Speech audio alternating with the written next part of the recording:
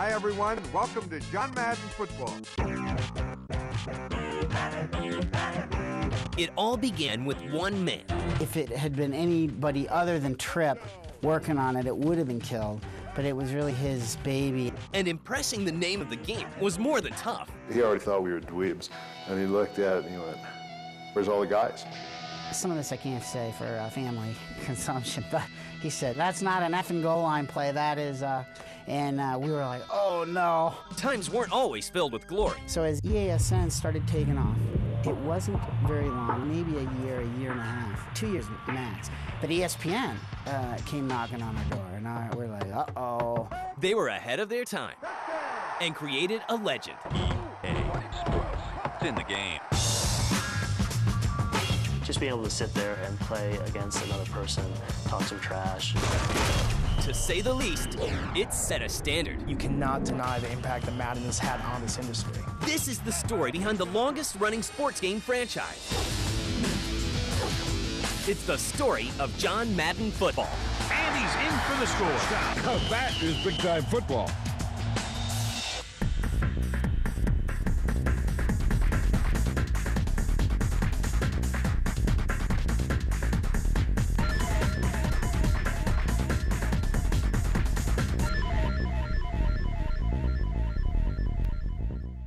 It all begins in 1982 in San Mateo, California, when Bing Gordon and Trip Hawkins form a brand new video game company called Electronic Arts. Back then, for about five years, we were always out of money.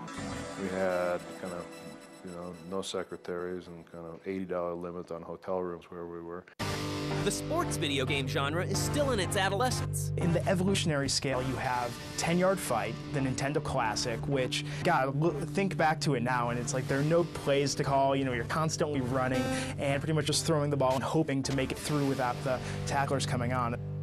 And then, of course, there's Tecmo Bowl, which is definitely a classic, and I think for many people, considered the first real football game. EA begins development on their very first sports title. The first sports game we ever did was Dr. J and Larry Bird go one on one. So we decided back then, we were kind of hardcore sports fans, that a sports game really needed to reflect the real guys. A relationship with a football legend begins to bloom, and his name is John Madden. He was local at the time in Oakland area and the Bay Area in California.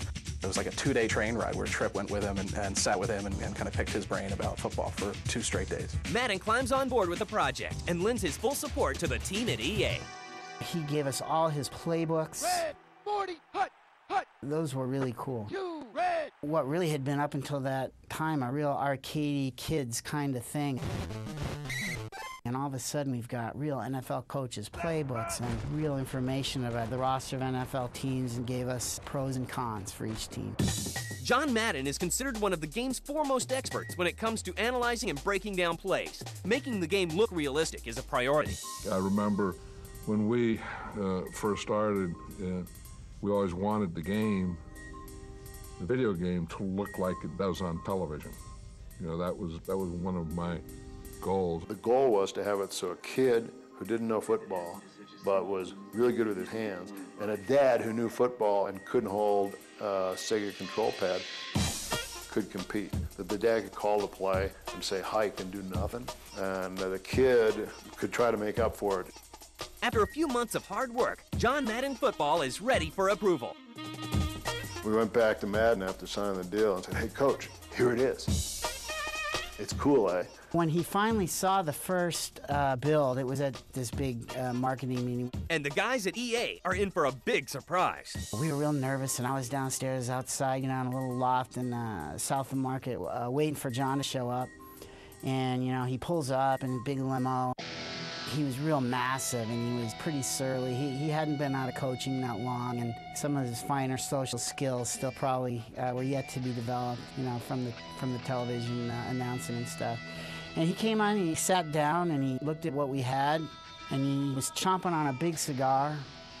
And he leaned back and he goes, um, Is that supposed to be a goal line play? And we said, Yeah. And he goes, Some of this I can't say for uh, family consumption, but he said, That's not an effing goal line play. That is, uh, and uh, we were like, Oh no. That's not all he's unhappy about. Madden thinks the game doesn't look or feel realistic enough either. He expected to see like an NFL video, you know, not little uh, pixely guys with, you know, blue or red heads. He already thought we were dweebs. And he looked at it and he went, Where's all the guys? He said, Seven on each team. There's 14 players running around. And look at this, and you can create your own plays. And he goes, No. He said, That's not football. He says, That's not Madden football. Seven on seven football is not Madden football. Get out of here. And using the John Madden name means using John Madden's input. It was always very important to, to Coach Madden that it was a real football game. John always wanted it to be 11 on 11 because if it wasn't, it wouldn't be real football. The guys went back from that rolling their eyes, going, geez, you know, I don't know if we're going to be able to do this. It was really hard to get that many guys going with the technology that existed at the time. The boys dragged themselves back to the drawing board. So it took us two more years to actually build a football game that reflected what Madden believed in with field position, and types of field conditions, and playbooks that reflected one-on-one matchups. And spearheading the project is EA president Trip Hawkins.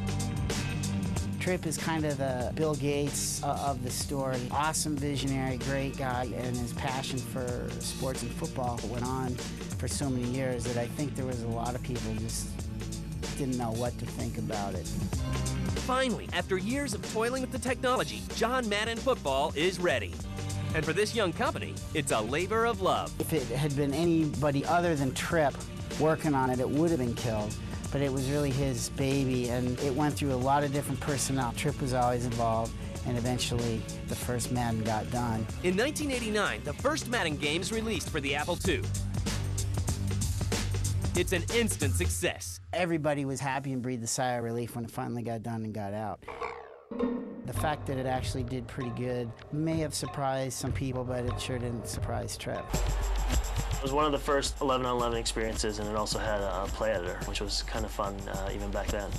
And the 11 on 11 gameplay Madden himself rallies for is something people have never seen before. On the original systems, it was very challenging. I mean, these were systems that were, uh, by today's standards, you, you couldn't run a calculator with these systems. It was a big challenge back then.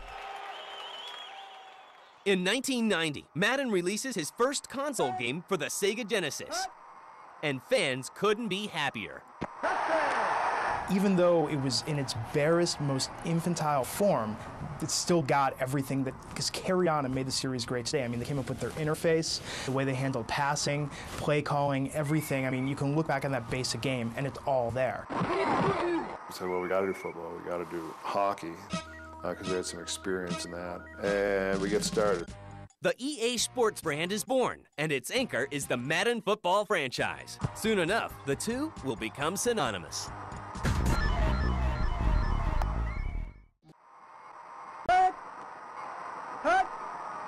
The success of John Madden puts EA on the map and continues to raise the bar with new features that add to a more realistic experience.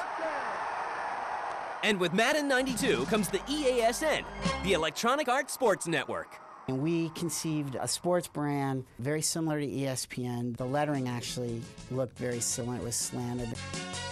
We also emulated graphically the announcers at the time. We did, you know, halftime stats. We were just scrolling text, you know, but like it made it seem like there were other games in progress at halftime. So far, the series seems to be a success, but the next installment really becomes a fan favorite. Where we really start to see Madden take off was Madden 93 uh, on the Sega Genesis. It's simple stuff like, you know, catching a jumping touchdown catch when somebody else dove in front of you and, and you know, and they're left on the ground, you go running. Stuff like that, just the, the rewarding head-to-head experience. It all comes down to details. On the Genesis, what we do is we bring in like kind of gimmicky things like the, um, the, the ambulance just great gameplay. You're looking at teams like the Bears, the Eagles, great teams to play with, the Cowboys, the 49ers. You know, just having a blast sitting around playing those games till all hours of, of the night. And EASN gets busted by E ESPN, the 24-hour sports cable network. So as EASN started taking off, it wasn't very long, maybe a year, a year and a half, two years max, E ESPN uh, came knocking on our door, and I, we're like, uh-oh. ESPN accuses EA of copying the look and style of the network. At the time, we're still small. You know, ESPN is this big, huge, you know, network thing, and we're like, oh no, what have, what have I done? They didn't sue us, but they threatened action because, uh, you know, trademark infringement. They thought the logo looked too similar, the announcers looked too similar. It was a sports network. The whole thing was getting them uptight. So the two come to an agreement. So we negotiated, and they made it worth our while to stop being EASN. We negotiated a settlement whereby we would change our name, and they were going to give us uh, free television airtime uh, for, for commercials. So EASN became Madden 94 marks the debut for the tag. It's in the game. Other additions include real NFL teams and four-way play on the Genesis version. Madden 94, I believe, um, was one of the first ones where you had the, the 3D camera system where you could actually pan around uh, a player um, and view that from different angles. And it creates a little bit better visualization of the field, and it just helps the gameplay. Hut, hut, Madden 94 provides the complete experience with enhanced gameplay, interception. options, presentation, and music.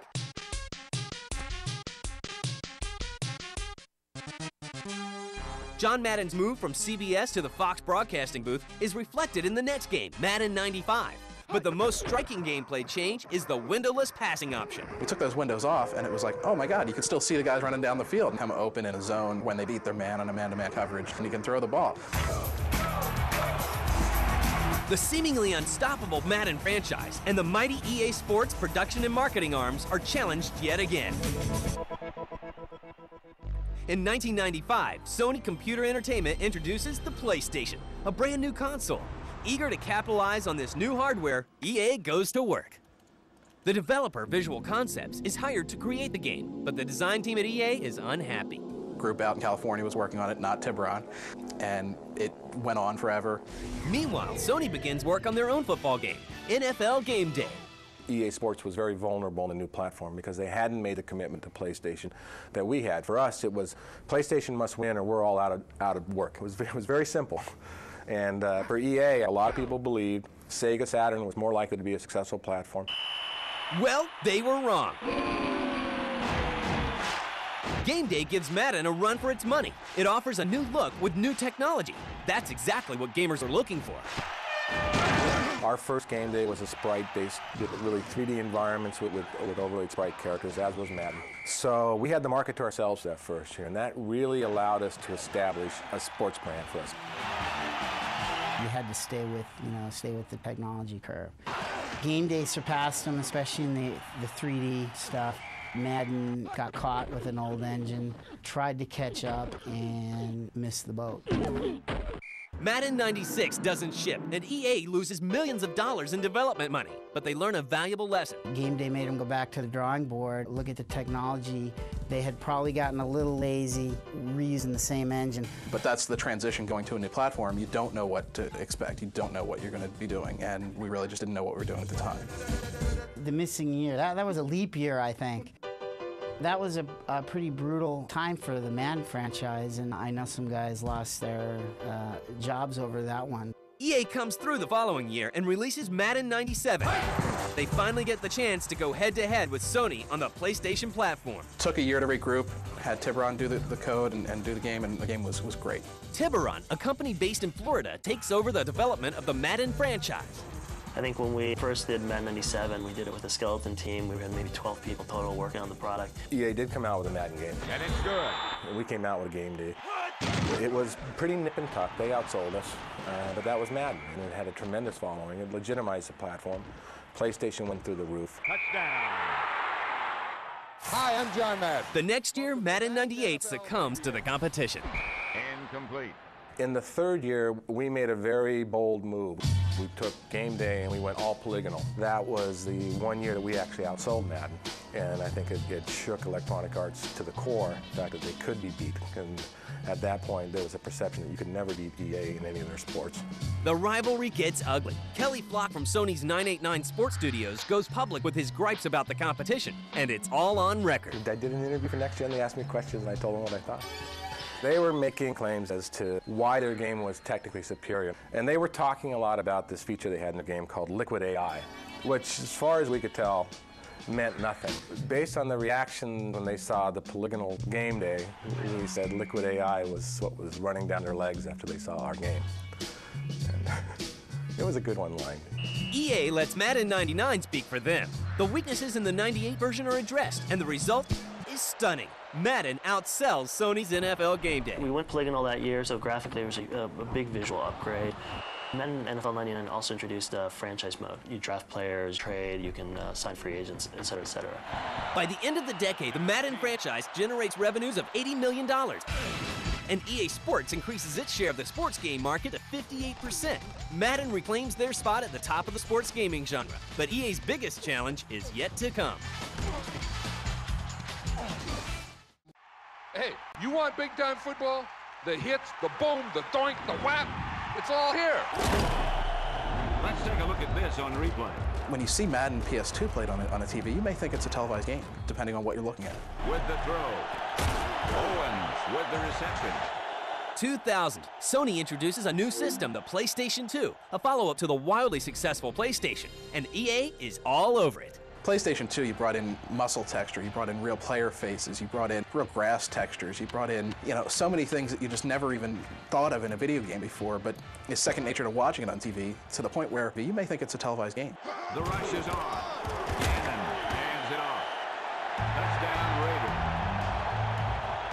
Electronic Arts and, and Tiburon, we really focused on PlayStation 2. We had our best and brightest folks working on it for probably two years before the game shipped. And they went and they made an engine and, and made a game that really was everything we wanted it to be. We sat around in a room for a week trying to figure out what would we want the ultimate Madden to be. Have those two outside guys instead of running streak, have them run post, double post. Post, deep post like that? Yeah, right, yeah. And PlayStation 2 Madden of 2001 was, was probably it at the time. Uh, we came to E3 with something that was just visually stunning, and that was also, you know, one of the best kind of moments, um, you know, in the in the franchise is just going there with something just, you know, eye-dropping. Touchdown St. Louis. The new game includes features that give gamers more options and gameplay. It's closer to TV broadcast quality with more intricate commentary and color analysis. He throws a bullet, but it falls incomplete. That pass was thrown with so much velocity on it that the receiver never caught up with it. PlayStation 2, we really started to see the swappable parts with elbow pads and gloves and different types of face masks. You know, over the years, we've, we've really kind of gotten into the, the more and more visuals that separate Madden from year to year.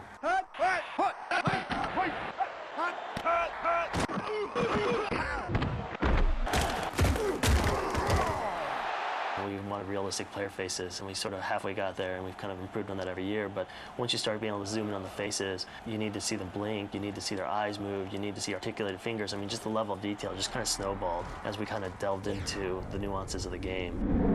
Yeah, the game isn't over yet. Here comes Sega. Really, the competition has come from the Sega Sports franchise and the NFL 2K series. The Sega football game is real strong.